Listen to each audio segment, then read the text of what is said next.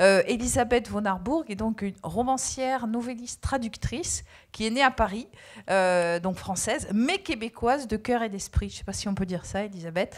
Euh, également connue sous le pseudonyme de Sabine Véraud.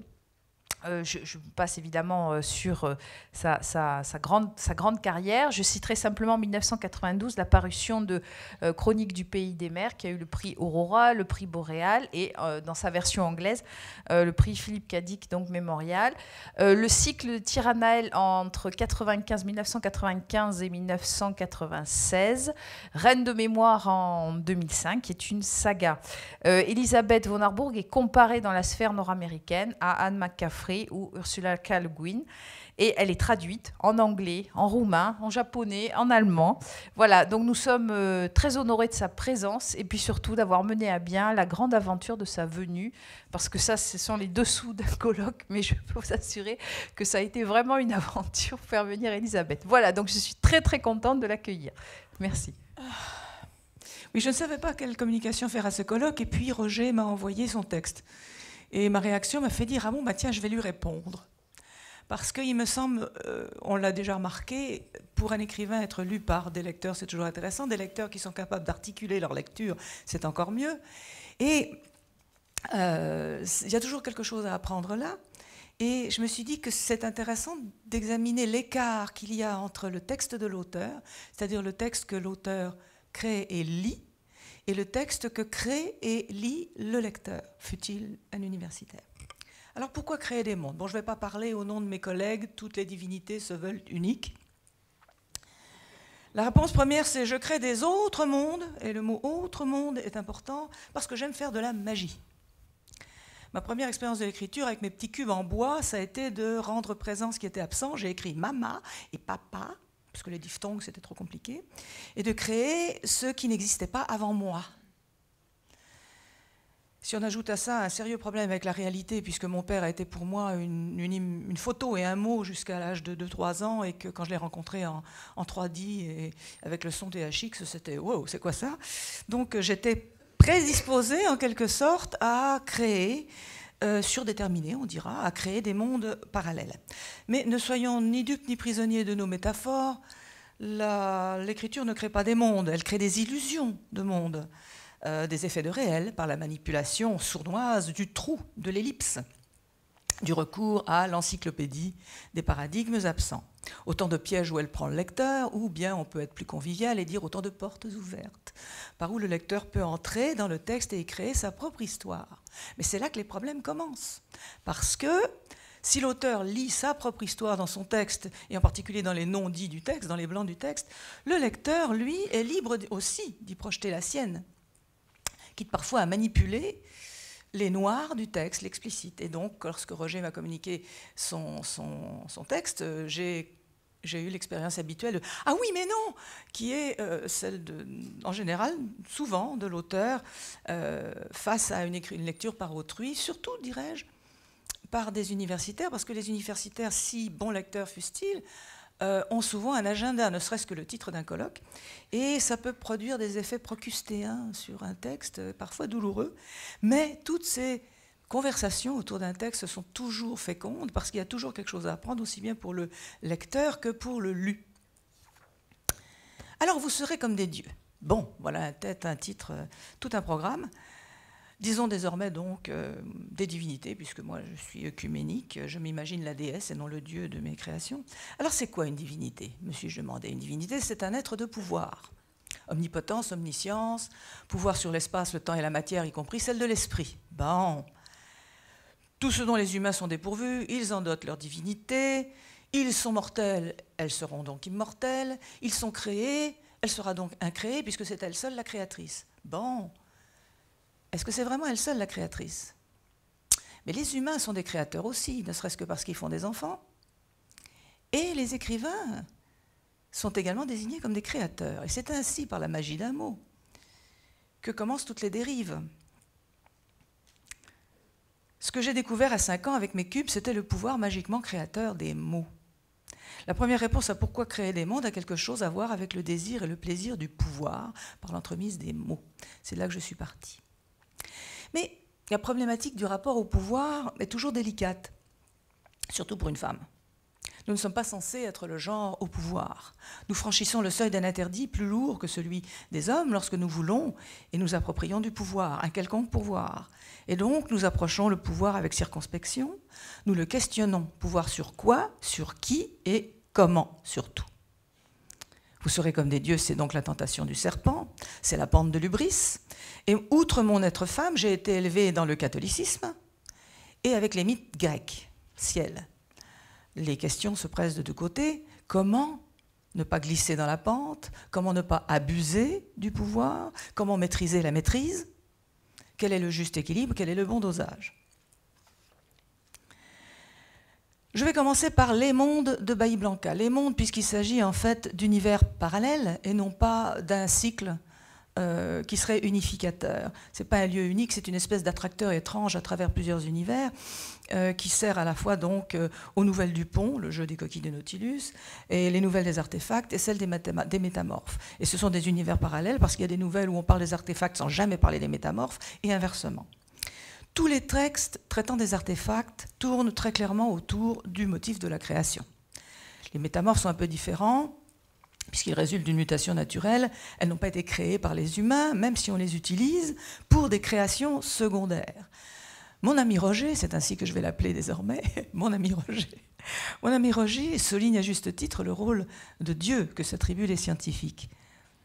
Mais je perçois là, quant à moi, une certaine surlecture, dans la mesure où ce sont souvent les créatures, bien plus que les créateurs, qui sont les protagonistes, qui sont les personnages principaux.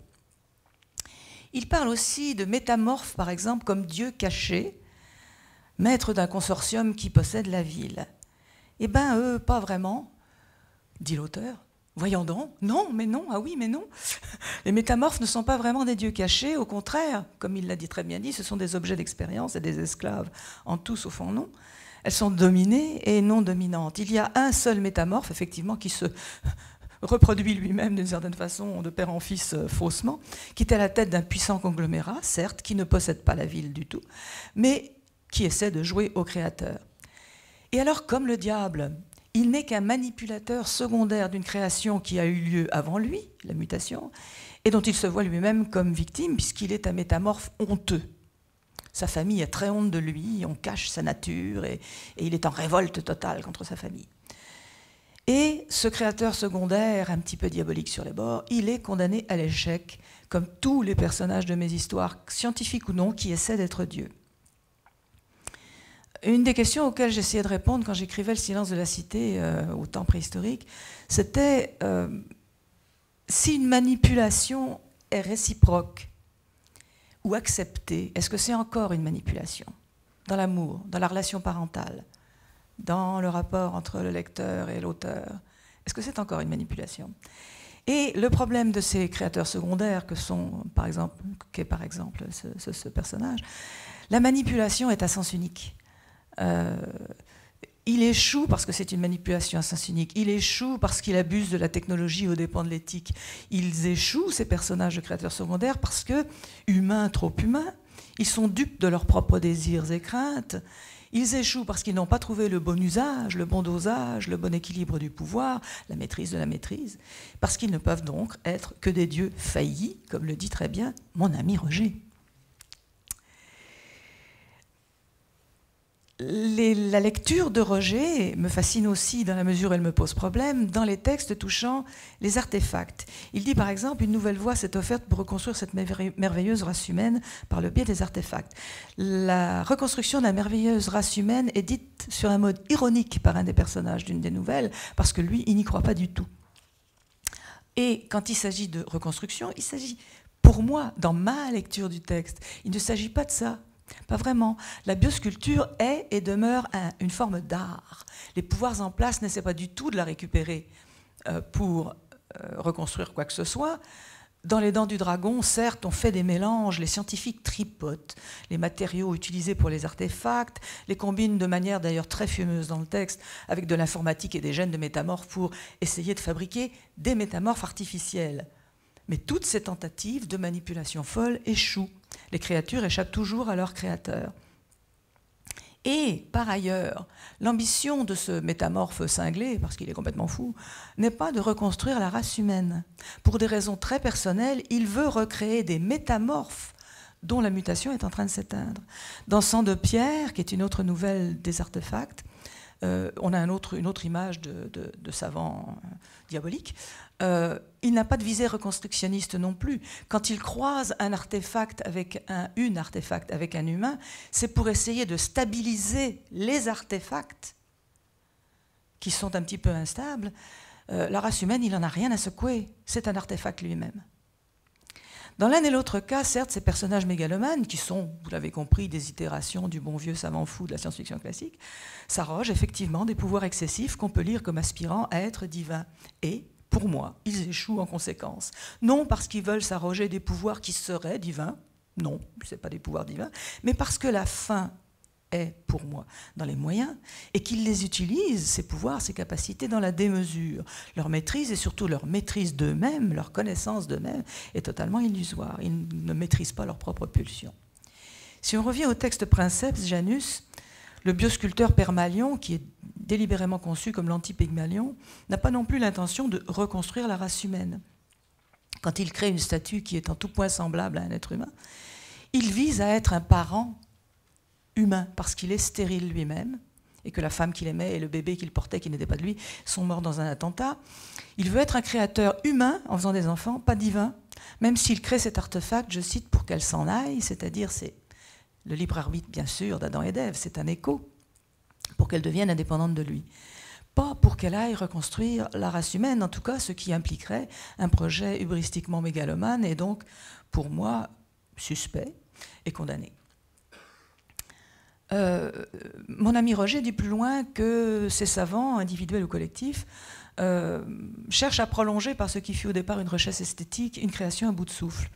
Et alors là, l'auteur de Glapir, nuance, nuance, même si l'art futur de la biosculptrice, créatrice, mère de Manou, euh, implique de profondes connaissances scientifiques et technologiques, elle reste une artiste. Et elle n'entretient pas non plus de telles visées généralisantes. Elle veut surtout savoir si elle a réussi son pari de faire une créatrice à son tour, de refaire une créatrice en lui donnant la possibilité de se reproduire. C'est ce que font aussi d'autres biosculpteurs individuels, mais ce n'est jamais un projet collectif, totalitaire, géré par un pouvoir politique ou un pouvoir scientifique à sa solde. Comme Père Malion, la mère de Manou veut créer un être humain à part entière, dans son cas, capable de devenir à son tour une créatrice. Dans les deux cas, et là je suis tout, à fait d'accord avec mon ami Roger, il y a prise de position divine, entre guillemets, mais comme elle est individuelle pour moi, comme elle est individuelle et fondée sur une réciprocité affective, puisque la, la créature de Père Malion, lorsqu'elle ouvre les yeux la première fois, le regarde, ce qui scandalise l'associé de, de Permagnon, pour qui il devrait y avoir une hiérarchie. Euh, Emmanuel revient et pardonne à sa mère. Puisqu'il y a une réciprocité affective, cette manipulation devient légitime et elle est couronnée de succès à long terme. Il ne s'agit donc pas tellement d'éviter la, la, mort de la race humaine ou de prolonger une création à bout de souffle, pour moi. Si les biosculpteurs s'entendent sur un horizon et non sur un projet, c'est en fait sur la perspective de voir remplacer la race humaine, ils envisagent sans problème la continuation de la vie en général sous des formes différentes. A contrario, les fanatiques, les escatoïs de Janus, les terroristes, voient d'un très mauvais œil toute prolongation parce qu'ils pensent que c'est la fin du monde, parce que c'est la fin de leur monde à eux, leur race étant euh, condamnée. Et ils sont extrêmement opposés à toute forme de création, fût-elle secondaire, comme celle des artefacts. Donc le rapport parent-enfant est assez clair dans tous les textes évoquant la création des artefacts, souvent même au premier degré. Et là, il est pour moi inséparable de la relation créateur-créature, qui est quelque chose qu'on retrouve dans tous mes textes. Les auteurs écrivent tout le temps la même chose. On s'écarte de la notion de pouvoir du, créateur pour entrer dans celle de sa responsabilité. Si l'on considère de nouveau le titre de la communication de mon ami Roger, euh, le motif qui m'intéresse, quant à moi, ne serait pas tellement l'affirmation, promesse, tentation, tentation, vous serez comme des dieux, mais plutôt un questionnement mieux en rapport avec le mouvement essentiellement spéculatif de la science-fiction. La question et si? Alors ça se formulerait comme ceci vous désirez être comme des dieux Et si vous étiez des dieux? En comprendriez-vous toutes les exigences et toutes les responsabilités, et seriez-vous prêt à les accepter? C'est la question à laquelle Frankenstein a donné la mauvaise réponse, puisqu'il a un réflexe de terreur-horreur immédiat devant sa créature, et c'est aussi celle à laquelle le mythe grec n'avait pas donné la bonne réponse, puisque Prométhée est puni pour avoir essayé d'enfreindre le diktat divin. Combien de temps il me reste là? 5, minutes. Ok. Euh, les textes tournant autour du pont et du voyage, c'est la divinité sous un autre angle. Euh, on y retrouve la même problématique qui est celle du dosage et de l'équilibre entre des pôles apparemment opposés. Mon imaginaire fonctionne par oxymoron, par couple apparemment antithétique mais en réalité complémentaire, et dont le sens profond exige un, saut mental, une espèce de changement d'univers. Euh, c'est ce qui arrive, par exemple, dans la dynamique du pont. Le pont fonctionne par l'arrêt du mouvement des molécules au voisinage du zéro absolu. Et c'est cet arrêt du mouvement qui déclenche le mouvement absolu qu'est le voyage, puisqu'on bascule, non pas dans, notre univers à nous, mais dans d'autres univers. Le voyage ne permet pas de voyager dans notre univers, sur les planètes de notre univers, mais bel et bien d'un univers à l'autre.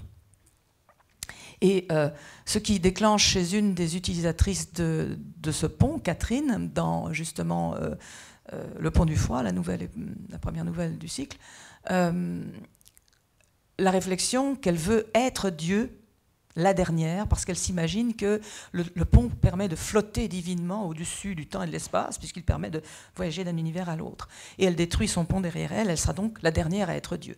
évidemment, oxymoroniquement encore, ce désir arrogant de pouvoir absolu se résulte en une absence totale de pouvoir, puisqu'elle va être confrontée à une espèce d'existence enfantine, infantile, quasiment préhumaine, en suivant la trajectoire des indigènes du lieu, qui, jeunes, l'adolescent, partent dans une espèce de quête initiatique, dont il ne s'agit pas, et le texte le dit très clairement, d'une quête ni d'un rituel.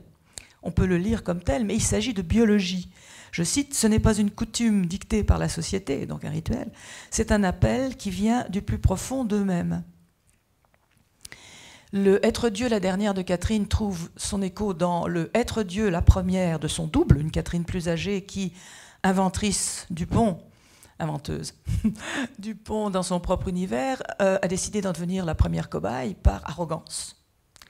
Euh, mais euh, elle connaît le même, la même trajectoire que, que, Catherine, la jeune Catherine, mais comme elle, est, elle a eu plus de temps pour comprendre de quoi il s'agit, et elle lui dit, être Dieu, te dis-tu, non dans un univers, mais dans tous les univers? Pas dans tous, Catherine, seulement dans ceux qui ressemblent assez aux nôtres, pour que le pont s'y trouve aussi, ou presque ceux dont on peut revenir. Alors ce motif du, retour et de l'autre, c'est pour moi le motif essentiel du jeu des coquilles de Nautilus. Euh, l'héroïne du jeu des coquilles de Nautilus a également un projet hubristique. Elle veut rencontrer Dieu, elle veut rencontrer l'autre absolu. Qu'est-ce qui est l'autre absolu sinon euh, Dieu elle veut, sauter de notre arbre à univers pour aller dans celui où il y a des consciences et des êtres vraiment non humains. Et alors elle est punie de cette hubris puisqu'elle se retrouve coincée sur une planète dont elle ne peut plus repartir. Et euh, elle n'est pas coincée par une punition divine. Ce sont les voyageurs eux-mêmes qui dirigent le voyage, sauf qu'au début, ils n'en ont pas conscience. C'est une espèce de, trajet pseudo-parapsychanalytique. Euh, c'est seulement quand ils prennent conscience que ce sont leurs pulsions qui les, qui les mènent qu'ils peuvent à ce moment-là contrôler le voyage et éventuellement revenir. Les Arevagues, qui accueillent euh, Talita, sont une race amphibie, la terre et l'eau en complémentarité. Ils ont effectivement un mythe de création très complexe que Talita, qui est une rationaliste évémériste, interprète comme l'écho déformé de la naissance biologique de leur race. Ils n'ont pas à proprement parler de rituel religieux, à part cette, marelle, qui est un jeu d'enfant, qui n'est pas désigné comme un rituel. Et euh, ce qui se passe dans le cercle qui entoure le vieux Pilki avant sa disparition, c'est un mot qui tourne, des sons. Ce que Talita n'interprète pas comme de la magie, mais comme une technique différente qui dépasse ce qu'elle considérait comme de la technique et l'invite à s'ouvrir sur une euh, conception plus large de ce que c'est qu'une technique, un rééquilibrage entre technologie et connaissance. L'oiseau de cendre évoque aussi ce rapport aux machines. Euh, au pouvoir des machines qui est fantasmé et donc excessif, c'est un texte qui a été écrit dans un atelier d'écriture. on devait l'écrire en 24 heures sur trois mots tirés au sort. C'est un matériau plus aléatoire et donc peut-être plus révélateur. en perdant le contrôle de la vue, Thomas, qui s'appelle Thomas, c'est-à-dire Thomas, c'est-à-dire pour moi, pour moi, Thomas l'incrédule, et donc la position par rapport aux religieux va être assez particulière. En renonçant au sens de la vue, en perdant le sens de la vue, Thomas euh, perd sa capacité de contrôler ses machines. C'est-à-dire qu'il perd sa capacité d'être créateur, de devenir poète. Et quand il dit non euh, aux yeux artificiels qui pourraient lui donner un sursis, c'est il refuse de ne plus pouvoir être poète. Et comme la Catherine suicidaire de, du Pont du Froid, comme Talita, la voyageuse du jeu des coquilles d'Attilus, en proie à la dépression coincée sur sa planète, c'est à partir du fond, littéralement et oxymoroniquement, qu'il va rebondir vers le haut. Comme le souligne justement la lecture de, Roger, c'est dans ce texte qu'on approche le plus du motif des religions, mais c'est aussi dans ce texte qu'on trouve le plus, pour moi, de surlecture dans ce sens. Euh, au départ, on a l'impression, j'ai eu l'impression en, écoutant Roger que, que Thomas s'est converti. Or pour moi, pour moi, encore une fois, c'est pas du tout ça qui se passe. Au départ, il est jaloux des indigènes qui peuvent faire avec de la poussière et leur capacité télékinétique sans rapport avec des machines, ce que lui ne peut plus faire avec ses machines, puisqu'il croit qu'il dépend de ses machines. C'est leur capacité de raconter sans machine qu'il fascine. Euh, il essaie de revenir au mot, mais ça lui semble dérisoire. Il n'a pas fait le deuil de son projet de maîtrise. Et c'est par curiosité, par désir de voir une dernière fois, par désir de savoir, un petit peu Adam et Ève avec le fruit défendu, qu'il va suivre les indigènes dans les profondeurs du rift.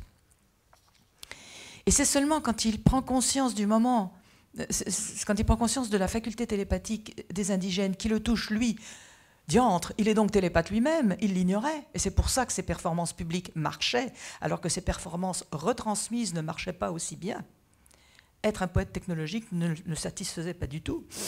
Euh, son, chemin spirituel change d'orientation à ce moment-là. Et là, il renonce délibérément à la vue. Il ferme ses yeux de chair pour pouvoir avoir accès aux images que lui transmettent l'autre indigène. Mais, certes, il va connaître l'illumination d'une épiphanie, mais on est dans le monde naturel, pas du tout dans le monde surnaturel. Thomas perçoit la manière dont les Pyréis croient vrai leur croyance mais ils ne les partagent pas. L'oiseau de cendre qui flotte dans le vent de l'abîme ou les images transmises par euh, le vieux chef, ce sont des symboles, des manifestations naturelles issues de pouvoirs physiques, les, pouvoirs psy. Elles ne sont pas interprétées ni comme surnaturelles ni comme divines par Thomas. Alors il fait l'expérience du sublime, certes, c'est une expérience spirituelle, religieuse au sens large, mais en deçà d'une expérience directe du divin. On est bien d'accord. Et surtout, il ne se sent pas appelé, sinon par lui-même. Parce qu'il n'y a pas de suicide dans le pas en avant, il n'y a pas... Ok, Roger parle de sacrifice volontaire. Dans ce cas-là, il faudrait demander à qui et à quoi.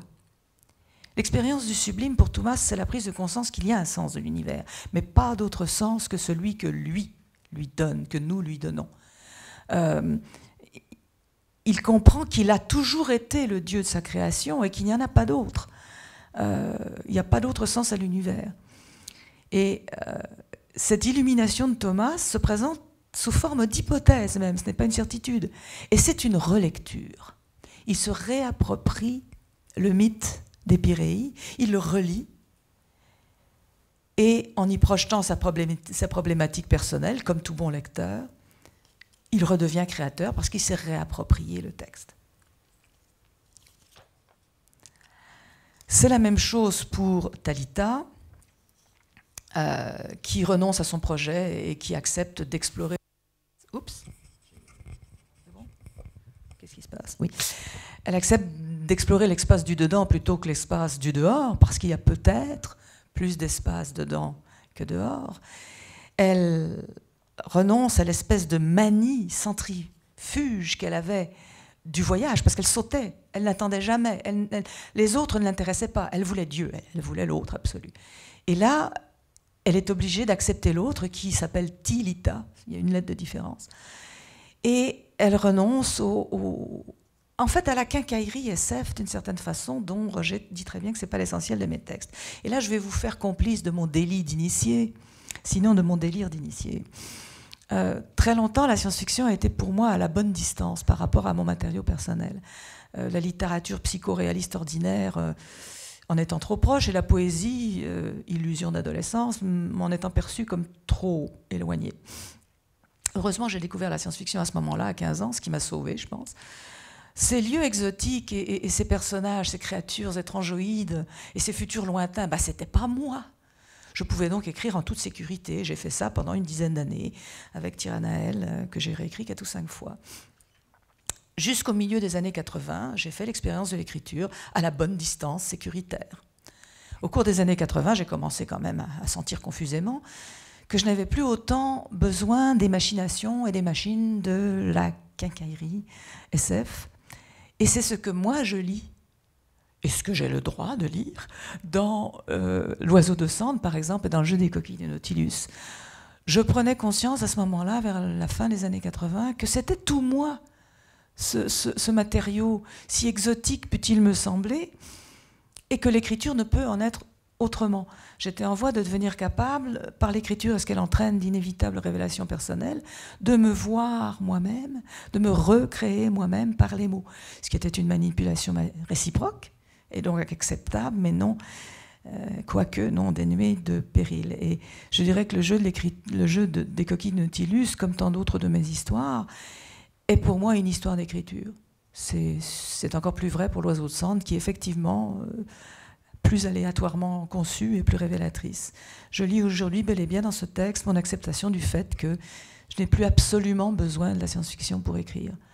J'y lis surtout le début de mon abandon de l'obsession du contrôle, le début de mon abandon à l'écriture en tant que seule danse spirituelle satisfaisante. Il n'y a pas de religion, il n'y a pas de Dieu, je suis au mieux la relative déesse de ma propre religion, c'est-à-dire de mon écriture, mais j'en suis aussi la création, c'est correct. Au pire, je suis la disciple d'un sens hypothétique. Euh, obscur et informulé que je cherche à tâtons à travers et entre les mots que j'écris. Et voilà, mesdames et messieurs, pourquoi votre fille n'est pas muette et pourquoi elle crée des mondes. Merci d'avoir été patient.